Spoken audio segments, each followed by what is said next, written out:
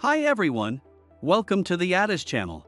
Today, we're taking a look at the new MBO DOM indicator. This tool shows the depth of market DOM directly on the chart using MBO data. MBO stands for market by order, meaning it provides information about each specific limit order, its position in the queue and its size. So, at every price level, you'll be able to see individual buy or sell orders, their sizes, and the order in which they were placed.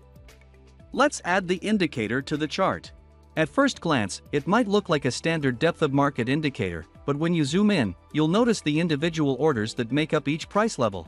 The orders closest to the price scale are first in line for execution. In the column next to the price scale, you can also see the total volume and number of orders, labeled V for volume and C for count. You can also hover over any order and press Ctrl to view detailed information, such as the price, volume, time of the last change, ID, and its execution priority, shown by a number. Let's take a look at the simple settings of the indicator. Here, you can customize the color scheme for bids and asks, as well as the text color. In the Filters section, you can set a minimum order size for highlighting cells, meaning you can choose to highlight only large orders or turn off cell coloring entirely.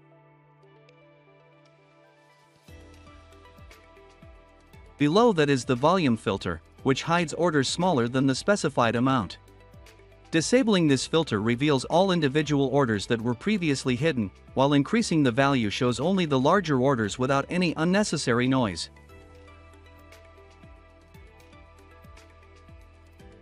The summary subsection enables you to customize the total values column. The first two options allow you to hide the total volume or the total number of lots at a specific price level. The last two settings are color filters for the summary column. If you increase the value in the orders count filter to 50, price levels with fewer lots will no longer be highlighted. You can see the result on the right side of the column. If you increase the value in the volume filter, price levels with lower volume will no longer be highlighted on the left side of the column.